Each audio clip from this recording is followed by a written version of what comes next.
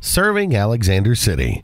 This is WAXC TV, Lake Martin's hometown station.